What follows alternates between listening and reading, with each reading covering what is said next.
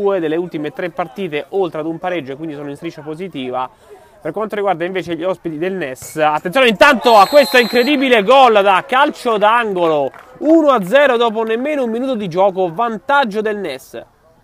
Abbiamo giocato 3 minuti e sono arrivate tantissime interruzioni. Intanto un altro tiro e un altro gol improvviso, ancora il NES 2-0 dopo 4 minuti di gioco. Adesso per gli Hammers la partita si fa davvero dura gira ancora verso Valentini, sempre per testa, testa, spazio per calciare, va ancora da San Marco che segna un altro gol, 3 a 2, che azione, vantaggio del Nes calcio 8, ennesimo vantaggio di questa partita per gli ospiti.